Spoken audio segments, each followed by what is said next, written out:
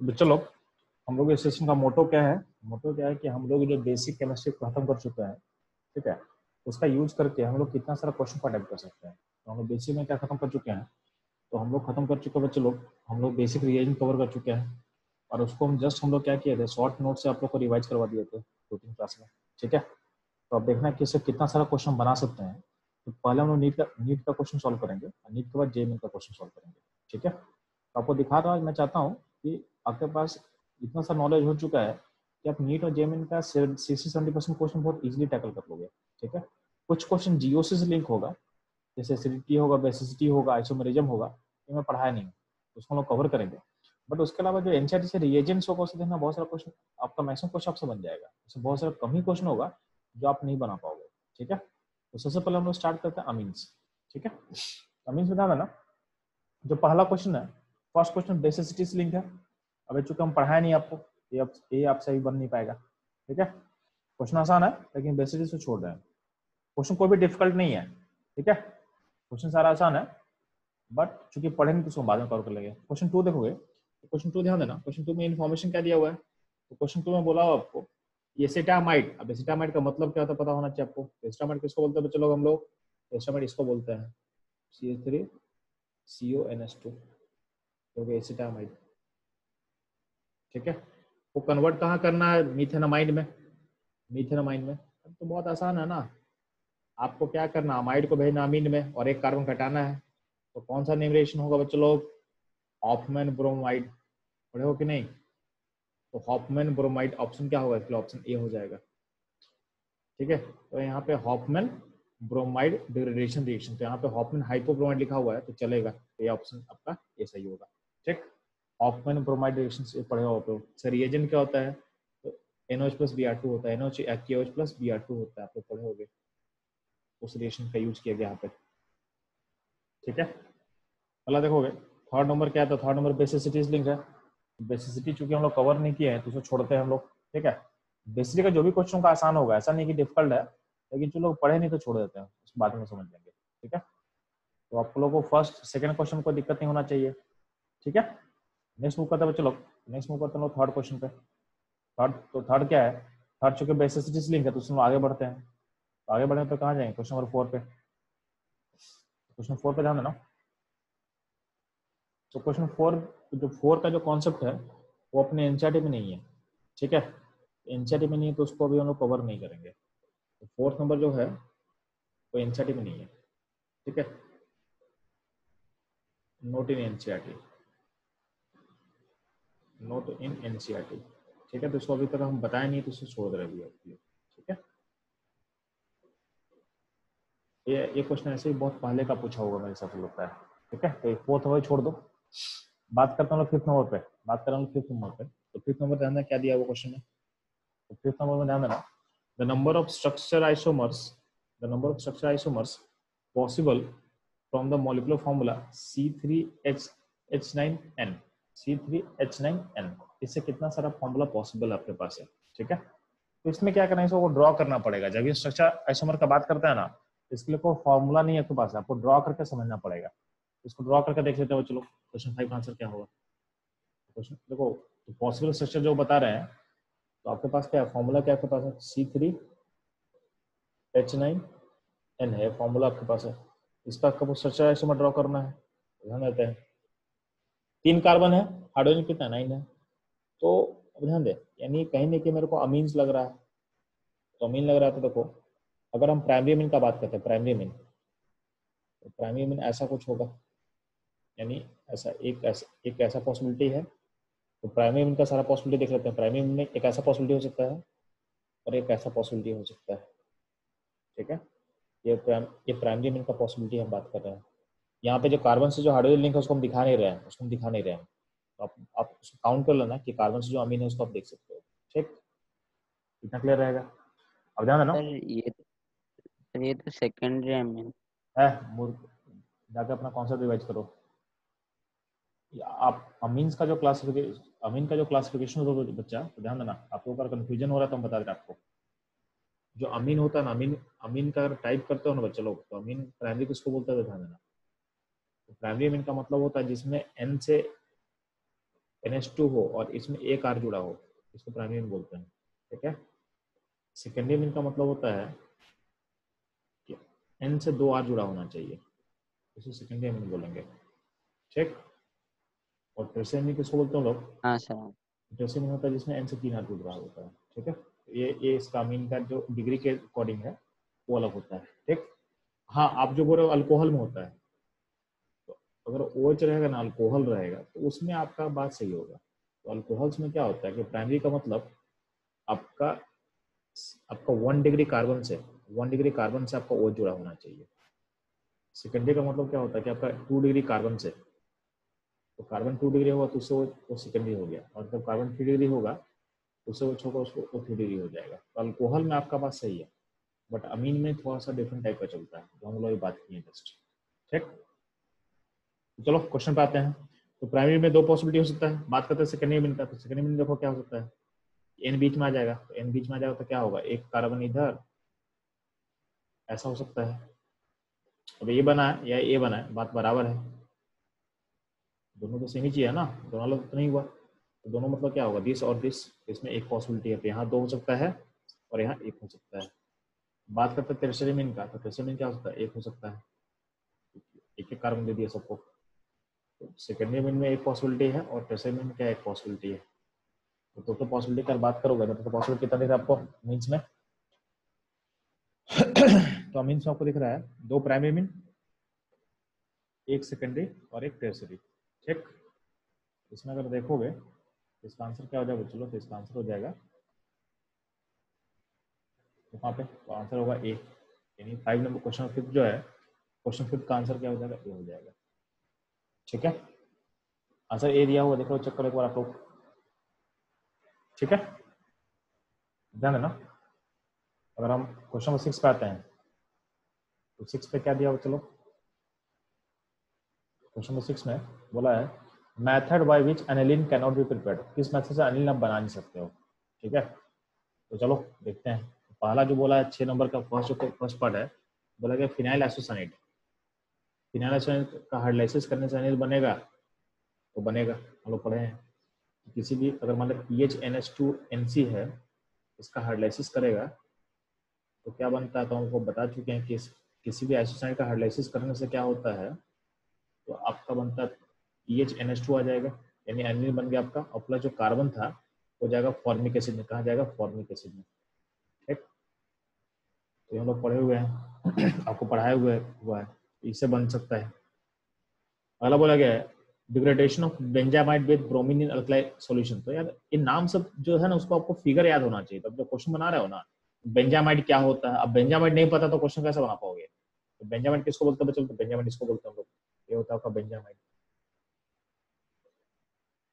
Benzamide होता है CO अब इसमें कर क्या, किया, क्या जा रहा है? तो इसमें डाला है bromine alkaline solution Br2 in alkaline solution तो Br2 प्लस OH माइनस ये कौन सा रिएक्शन है? तो पढ़े हो हॉफमैन ब्रोमाइड रिएक्शन कौन सा रिएक्शन हो? चलो हॉफमैन ब्रोमाइड इसमें क्या बनता है? तो ऊपर का ऊपर का जो सीओ है, ऊपर का जो सीओ आप हटा देते हो इसको आप हटा देते हो। ऊपर का सीओ को आप क्या करते हो? हटा देते हो। तो को बनता क्या है? तो को बनता क्या है चलो तो बनता है आपका एनेलिन बन जाएगा एनेलिन बन जाएगा। ठीक? यानी से आपका जो बी मेथड है, उसे ही बन सकता है। अगला पॉइंट करते हैं reduction in nitrobenzene with H two P D in ethanol ठीक है? तो इससे भी आपका, इससे भी आपका एनिलिन क्रिएट होता है। इससे भी आपका एनिलिन क्रिएट होता है। ठीक है? तो ए बी सी तीनों से बनेगा। तो इसका मतलब चौथा से नहीं बनेगा तो चौथा टिक मार लेते हैं। अब चौथा दिया क्या हुआ, देख लो। तो चौथा में क्या दिया तो potassium salt of phthalimide treated with chlorobenzene followed by hydrolysis with aqueous NOH तो बोलने का कोशिश क्या है। तो आप लोग को मैं एक रिएक्शन पढ़ाया था। रिएक्शन क्या पढ़ाया था? कि गैब्रल पैथलमाइड गैब्रल पैथलमाइड रिएक्शन तो मैं बोला था कि इस रिएक्शन में यहाँ पे NH होता है। इसमें अगर आप बेस डालो, यानी के ओच यानी ओच माइनस डालो, उसके बाद आर एक्स डालो आर एक्स और बाद में हार्डलेसिस कर दो। बाद में एच प्लस एच टू कर दो हार्डलेसिस कर दो। तो जो आपका आर एक्स है वो कन्वर्ट होता है आर एन एस टू में। तो आर एक्स से क्या आता है? आर एन एस टू जाता है। बट इसका मैं लिमिटेशन बताया था। लिमिटेशन क्या बताया था? जो आर एक्स है, उसमें ऐसा नहीं होना चाहिए। इन डल बॉन्ड से लिंक हाइड्रोजन नहीं होना चाहिए। यानी ऐसा होगा तो उसमें रिएक्शन मत करना, उसमें रिएक्शन मत करना। ठीक है? ये मैं मना किया था। इवन मैं यही बोला था कि बेंजिन अगर आपके पास बेंजिन रहेगा बेंजिन से लिंक लिंक अगर रहेगा हेलोजन तो ये डरबोन से लिंक हेलोजन है? तो इससे भी एक सेट के एन नहीं बनता है। यानी यहाँ से एनालिन नहीं पॉसिबल है। ये भी हम लोग पढ़े थे। ठीक है? तो इसका मतलब यहाँ से भी ये बना नहीं पाओगे। इसका मतलब ऑप्शन डी जो है ऑप्शन डी जो है, वो आपका नहीं बनेगा। ठीक? इसका मतलब ऑप्शन डी से आपका एनिलिन क्रिएशन नहीं होगा। अब ध्यान देना, आपको दिखाने का चाहते जो भी इन्फॉर्मेशन आपके नोट्स में है, आपके नोट्स में है, वो भी हम लोग देख रहे थे नोट्स में कहाँ पे दिया हुआ है। तो आपके साथ मैं नोट शेयर कर रहा हूँ बेंजिन का माइंड मैप ठीक है? ध्यान देना। आपका जो ऑप्शन ए था, वो ऑप्शन ए कहाँ देखो? आपका ऑप्शन ए आपको दिखेगा। देखो ऑप्शन जो ए पूछा हुआ था क्वेश्चन में तो उसमें हॉपन डायरेक्शन था। तो यहाँ देखो, यहाँ पे दिया हुआ है। यहाँ देखो, ये वाला ए ए वाला पार्ट पूछा हुआ था। ऑप्शन ए मतलब एक सेकंड चलो।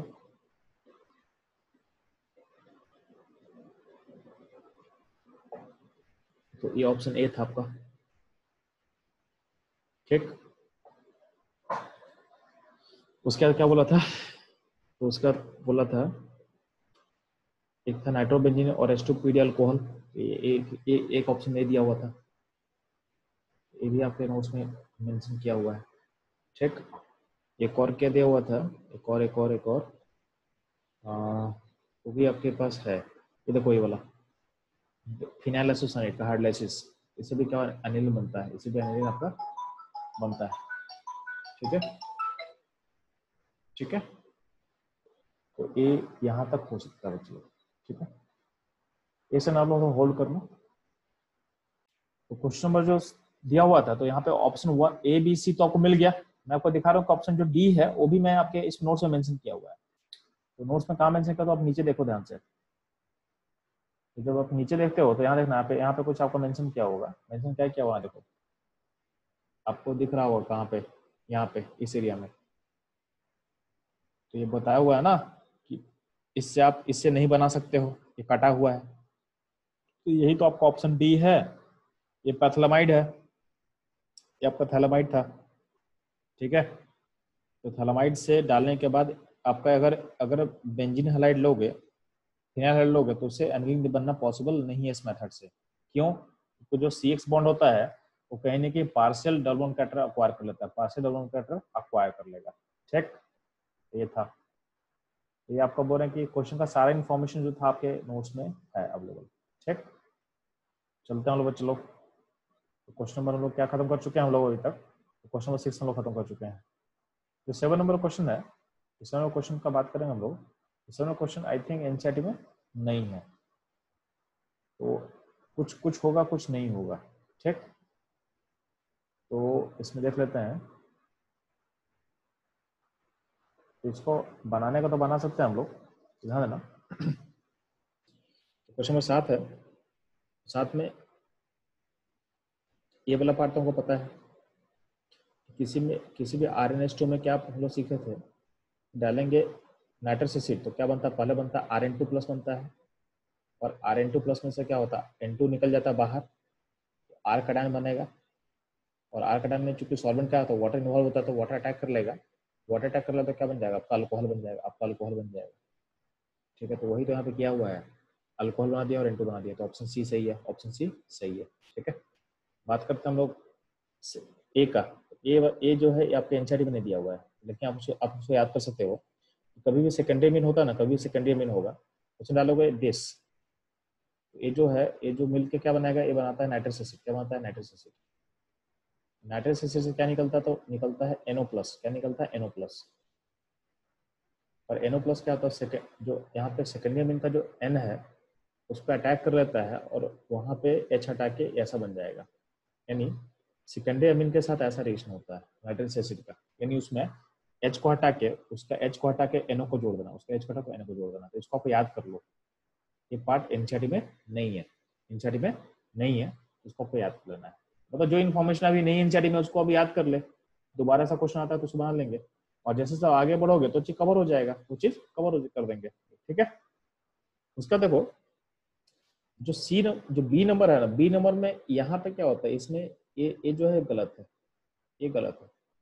इसमें इसमें फिर से यहाँ पे, देखो यहाँ पे जो अगर बीडीसी बनता भी है तो यहाँ थोड़ी बनता, पारा कोई थोड़ी बीडीसी ला के आ जाएगा तो ये पॉइंट गलत है, ठीक है? तो ये पॉइंट यहाँ पे रॉन्ग हो जाएगा।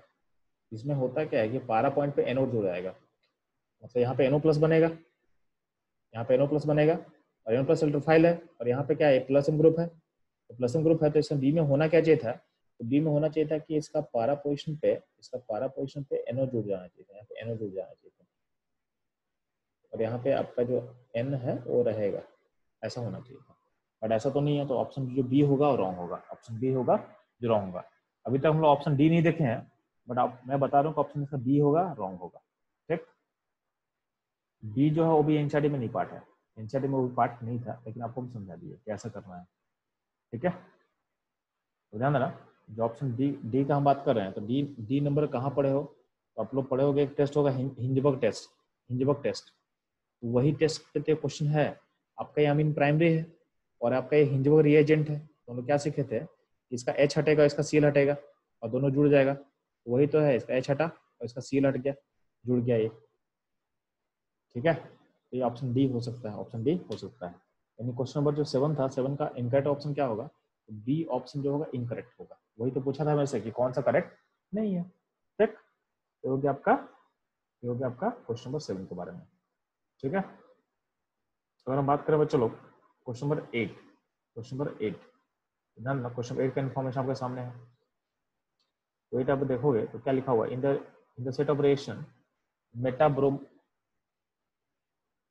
metabromo benzoic acid give product D और डी को हमको पहचानना है। तो यार एसोसिल तो क्या करेगा? एसोसिल टू ओएच को हटा के सी लगाता है। एसोसिल तो क्या करेगा? ओएच को हटा के सी लगाएगा तो सी लगा दिया तो बी में क्या बन जाएगा? तो बी में ऐसा बन जाएगा कुछ। ऊपर में क्या है? ऊपर में सीओसीएल बन जाएगा। और नीचे नीचे मेटा ब्रोमीन रहेगा। अब अमीन डाले हो तो अमीन से क्या होता है? तो जहाँ पे सी है, वहाँ पे अमाइड बन जाएगा। जहाँ पे सीएल है तो जो सी है तो सी ऑप्शन क्या होगा? ऊपर में जहाँ पे सी है, वहाँ पे क्या बन जाएगा? तो वहाँ पे अमाइड बन जाएगा चलो वहाँ पे आपका अमाइड बन जाएगा, यानी C O N S two बन जाएगा। और मेटा पे ब्रोमिन है वो तो अटैच रहेगा, उसको कोई फ़र्क नहीं पड़ रहा है। उसका क्या किया N H B R two है तो N H B R two का कौन सा रिएक्शन होता है बच्चा लोग? ये होता है हॉपन ब्रोमाइड और हॉपन ब्रोमाइड लोग क्या पढ़े हैं क्या करना है आप लोग को, कि जो अमाइड का जो सीओ होता है, उसको हटा देना होता है। उसको हटा देंगे और उसको एन से क्या करेंगे?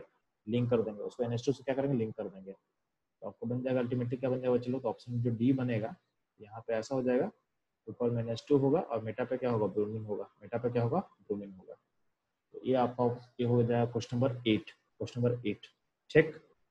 तो इसका ऑप्शन जो है सारा यहाँ पे, शायद ए बी है। अच्छा ए बी सी डी सारा सारा है। ठीक है? क्या बोला हमसे? कोई डी पहचाना बोला है ना? तो डी क्या होगा? तो डी आपको दिख रहा है। डी क्या करेंगे? ऑप्शन सी अमीन का अमीन का मेटा पोजिशन तो अमीन यहाँ पे है तो इसका ऑर्थो पर ऑर्थो पोजिशन हो गया और ये मेटा पोजिशन हो गया। ठीक है? तो अमीन के मेटा पोजिशन क्या होगा? आपका बी आर होगा। ऑप्शन क्या होगा? सी आपका करेक्ट होगा इसका। ठीक है? ये हो जाएगा क्वेश्चन नंबर एट के लिए आपका। सिमिलरली हम बात करें चलो। क्वेश्चन नंबर किसका? नाइन का। तो नाइन बता देना which of the following compound is most basic यार क्वेश्चन है। बेसिक क्वेश्चन हम लास्ट में करेंगे। ठीक है? जब जीओसी जीओसी अच्छे से कवर कर लेंगे तो। नाइन्थ को छोड़ देते हैं हम लोग। नेक्स्ट मूव करते हैं टेंथ नंबर पर टेंथ नंबर में कहीं ना कहीं बेसिसिटी का उसमें वर्ड यूज़ किया हुआ है। बेसिसिटी का क्वेश्चन किसको भी हम लोग छोड़ दे रहे हैं अभी।